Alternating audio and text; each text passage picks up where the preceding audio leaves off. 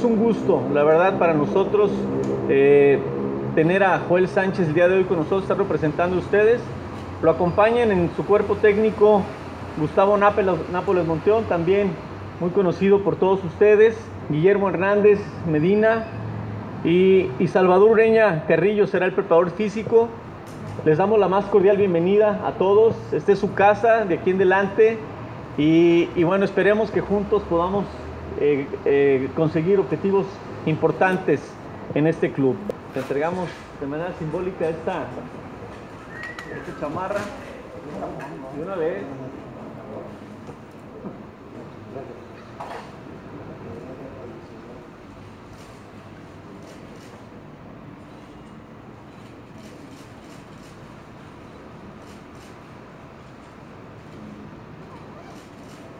Bienvenido, Joel.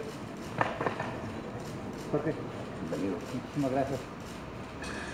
Bueno, buenos, buenas tardes ya.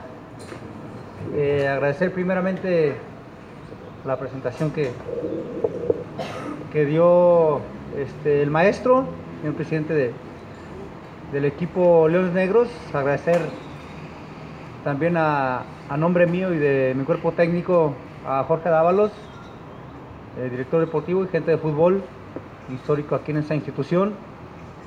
La verdad que estoy muy, muy feliz de encontrarme en estos momentos con este gran reto, con este gran compromiso que asumimos con mucha responsabilidad, pero tenemos un compromiso muy grande de entregar buenas cuentas, así que estamos muy ilusionados de este nuevo reto y con una ilusión muy grande de llenar la expectativa y con un sueño más grande aún de superarlas, así que esperemos que podamos rendir buenas cuentas, que el equipo juegue como deseamos, como desea la gente, un equipo que transmita, un equipo que sea protagonista, un equipo que sea ganador y un equipo como lo demanda la historia la institución, el escudo. Así que estamos muy ilusionados y les agradezco mucho por estar aquí. La elección de Joel se realiza con todo su cuerpo técnico, eh, buscando un perfil que sea acorde a la institución, que vaya acorde al proyecto institucional que es formar nuestros propios jugadores en la cantera y nuestros propios talentos. Son gente que trabaja de una manera muy intensa, y que comulga con la filosofía del club,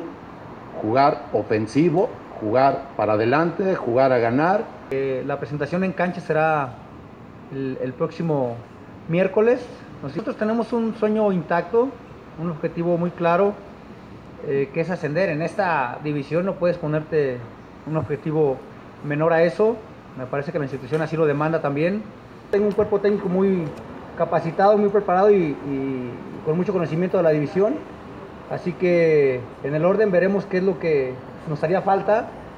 Si es así, lo hablaremos con la directiva para tener un equipo competitivo que, es lo que demanda esta, esta institución. Sí, tenemos que hacer valer la localía, hacer valer lo que es el, el Estadio Jalisco que pesa, hacer valer el horario